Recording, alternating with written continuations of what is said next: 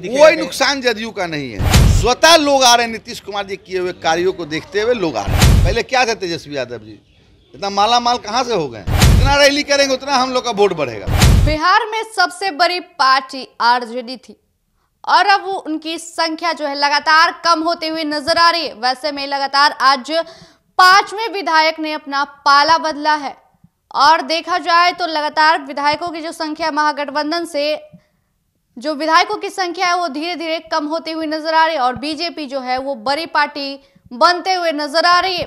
क्योंकि देखा जाए कि फ्लोर टेस्ट से लगातार विधायक टूटने की संख्या ज़्यादा होती नज़र आ रही है और कहीं ना कहीं ये सिलसिला लगातार लोकसभा चुनाव तक ये कहा जा रहा है कि और भी विधायक शामिल होंगे, वो अपना पाला बदलेंगे। ऐसे में जब जदयू से एमएलसी संजय सिंह से जब पत्रकारों ने सवाल किया कि इतने विधायक टूट रहे हैं आखिर खरीदने की बात हो रही है क्या? खरीदते हैं आप लोग तो उन्होंने साफ़ तौर पे कहा कि खरीदने की बात तो तेजस्वी यादव आरजेडी करती है और हम लोग खरीदते नहीं है। वही उनसे सवाल किया गया कि जदयू में भी टूट होगी क्या? तो उन्होंने साफ़ तौर पे कहा ऐसा कुछ नहीं है जदयू में कोई टूट नहीं हुआ आगे क्या कुछ करे संजय सिंह? पहले उनकी बातों को सुनिए। स्वतः लोग आ रहे हैं नीतीश कुमार जी किए हुए कार्यो को देखते हुए लोग आ रहे हैं। आरजेडी में संतोष है क्या बहुत? अब तो पता चलेगा देखिए अभी तो खेल शुरू आगे होता है क्या, आरोप लग रहा है कि दस दस करोड़ हाँ दस करोड़ रुपया उन्हीं उनके पास इतना पैसा है। हम लोग के पास है। राबड़ी देवी आरोप लगा रही है। अब राबड़ी देवी लगावे जो तेजस्वी हम लोग पैसा पैसा तो उन लोग के पास है। सब स्वतः सब आप लोग देख रहे हैं मीडिया के बंधु लोग आप लोग हैं कितना पैसा उनके पास है। पहले क्या थे तेजस्वी यादव जी? इतना माला माल कहाँ से हो गए? लेकिन सर धंधा करते थे क्या वो? धंधा पानी नहीं ना करते थे माल कहाँ से चलाया? इतना बड़ा संपत्ति आ- इन्होंने जो अर्जित किया है वो कैसे किया है? लेकिन सर सवाल यह है कि अब जितने भी विधायक टूट रहे हैं वो बीजेपी में जा रहे हैं। तो नुकसान तो कहीं ना कहीं जदयू को भी दिखेगा कोई नुकसान जदयू का नहीं है।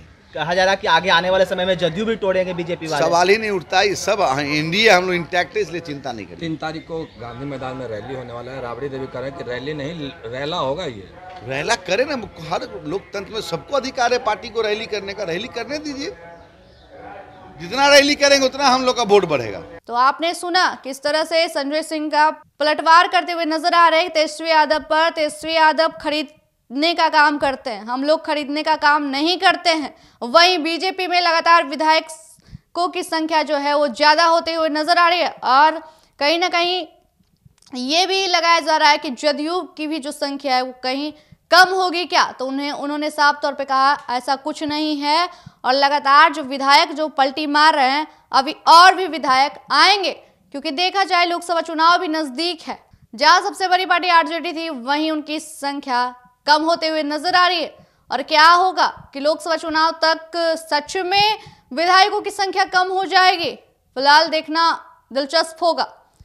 ऐसे ही तमाम खबरों के लिए देखते रहे देशवा न्यूज़। धन्यवाद।